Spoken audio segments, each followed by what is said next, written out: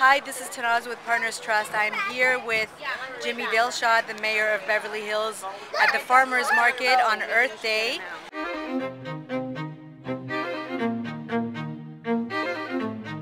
Jimmy, how are you today? I'm doing good. Today is a great day for Beverly Hills. We're doing an Earth Day for six years in a row.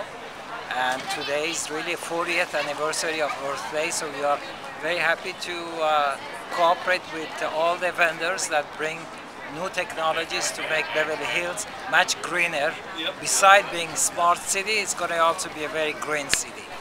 And what are you doing? Are you implementing anything yourself to get the city going green?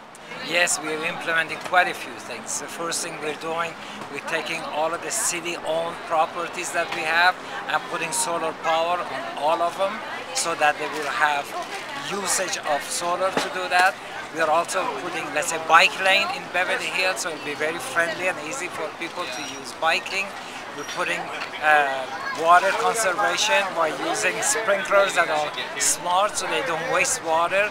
We're doing a whole lot of things like another one we're doing is giving a special home loan low cost home loan for people that want to use electrical energy and save that anyway.